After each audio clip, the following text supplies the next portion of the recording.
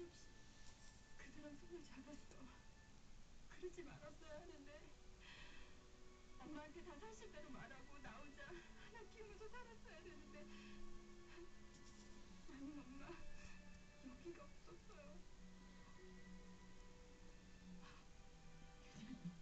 너 네가 너 어떻게 엄마한테 신나 기초들을 믿지 않았어.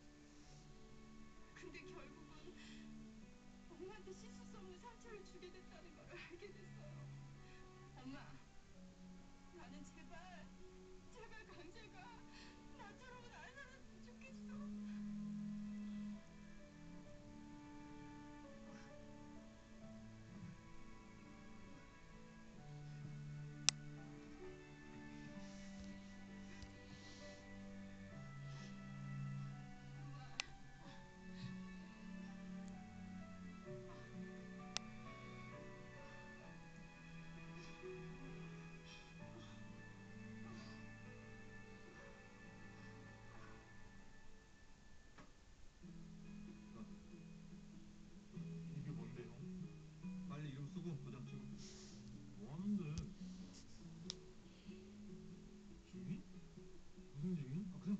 찍어 뭔지 알거나 해야지.